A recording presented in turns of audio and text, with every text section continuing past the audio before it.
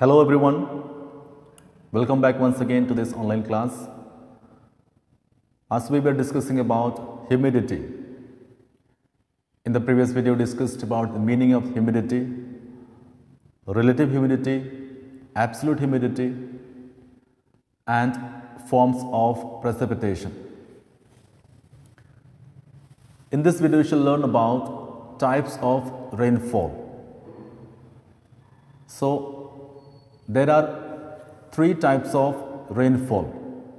The first one is convectional rainfall, the second one is orographic rainfall, and third one is cyclonic or frontal rainfall.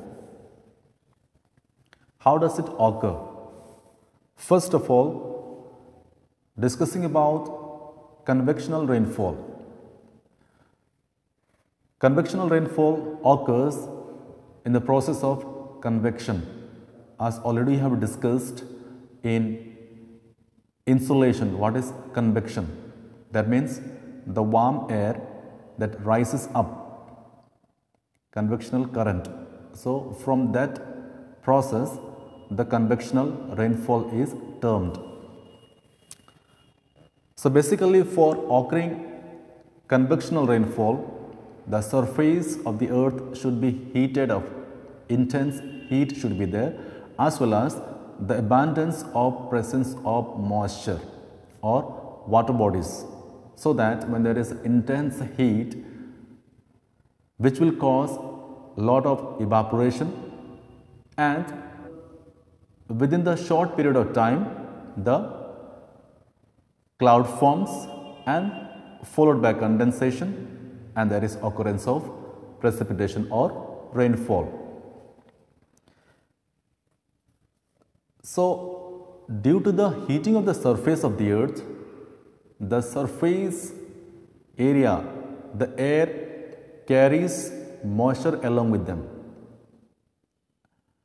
It rises and above the certain altitude, the air is cooled and there is a formation of rainfall.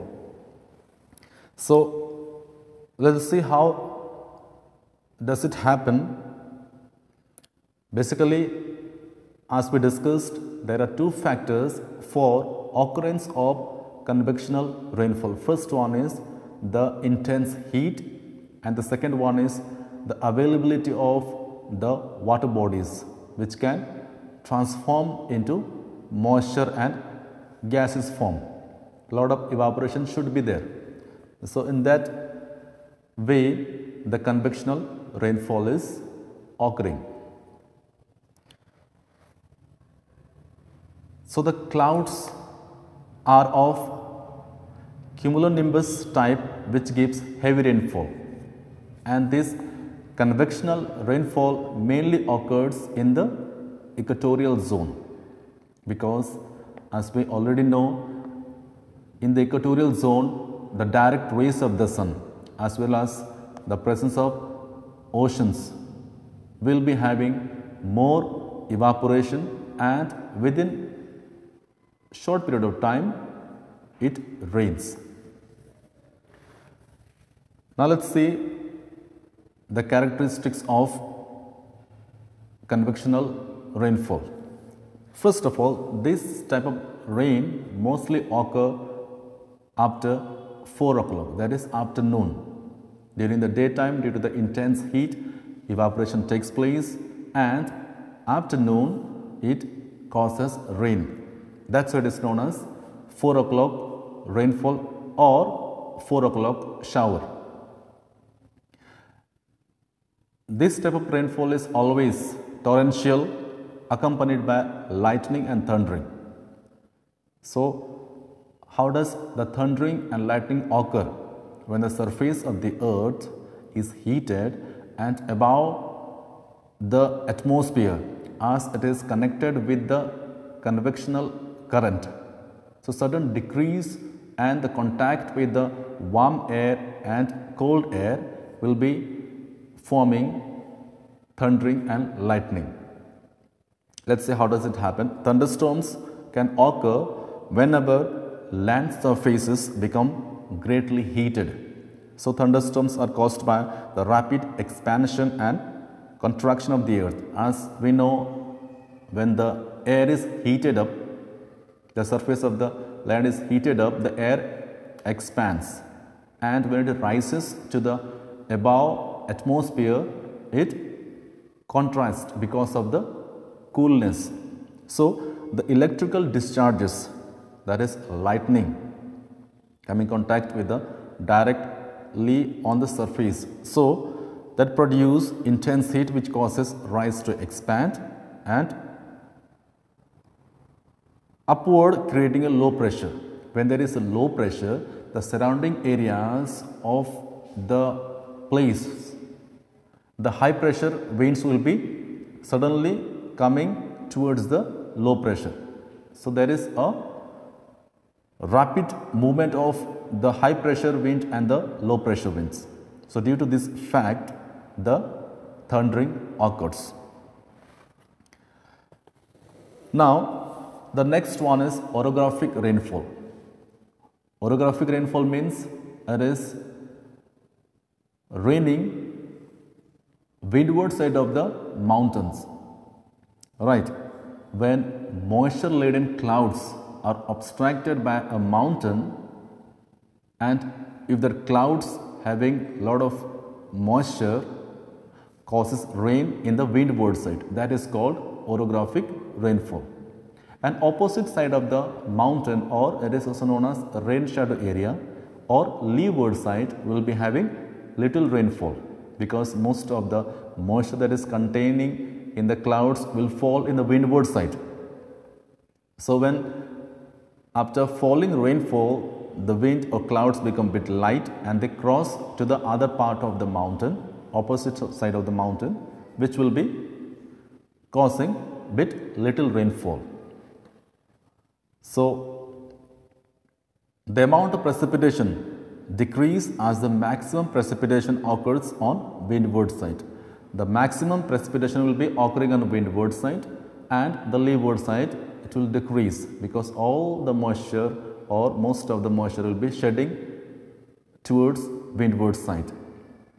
Let's take example like in uh, western Ghat of India, the southwest monsoon as it hits the western Ghat, the windward side of the western Ghats will be experiencing heavy rainfall than the places which are located leeward side of Western Ghat or rain shadow area of Western Ghat. This type of rainfall is known as orographic rainfall. Basically in India, we receive mostly from orographic rainfall. So, the characteristics features of orographic rainfall, first of all, when the moisture laden wind rises along the windward side of the mountain, the pressure on it decreases, the air expands and cools. So, as it carries moisture along with it, right? So, it tries to cross the mountain. As the mountains are high, they will be rising high and higher. So, what happens?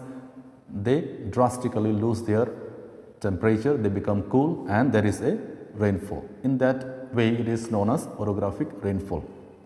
On the windward side, the dry air descends the mountain slopes, the pressure decreases. Then for example, in India, Western Ghats, as we discussed, Western Ghats in the windward side get maximum rainfall from the monsoon season that is southwest monsoon, whereas in the leeward side there is rain shadow area receiving very little rainfall. So wherever mountain barriers are there and if that is obstructing the moisture laden clouds will be having this type of rainfall. The last one that is the third type of rainfall is cyclonic or frontal. So, this type of rainfall mainly occurs nearby the coastal areas or oceanic areas that means due to the land breeze and sea breeze. So, here what happens the frontal means the meeting place of warm air and the cold air that means warm clouds and the cold clouds meet suddenly and that they rise up, they cool down and there is a rainfall. Right. Depression is cyclonic rain occurs when a mass of warm air that is also known as warm front mass of bulk of warm air meets the mass of cold air that is cold front.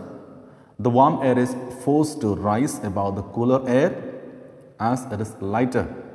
So, as it will be rising off the condensation takes place and clouds formed followed by rains. So, as we know the warm air will be carrying more moisture. So, when they come face to face they meet the warm air is forcefully rising up and there is the formation of rainfall that is known as cyclonic and frontal rainfall.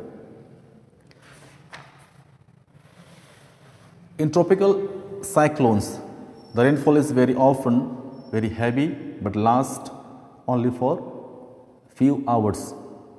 In temperate depressions, it is much lighter but lasts for many days. Cyclonic rain is common throughout the doldrums where the trade winds meet. So, this cyclonic rain is mostly when the trade winds, southeast trade winds and the northeast trade winds meet, the cyclonic rainfall occurs.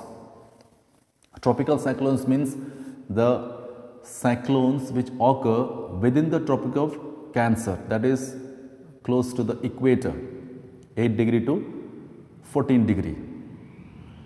Temperate cyclones means it is beyond Tropic of Cancer or beyond Tropic of Capricorn and that lasts for long days. The characteristics features of cyclonic rain is that cyclonic rain is usually in the form drizzle. It occurs when warm fronts meet the cold front. It is widespread of long durations when associated with cold fronts it is always in the form of thunder shower for a short duration.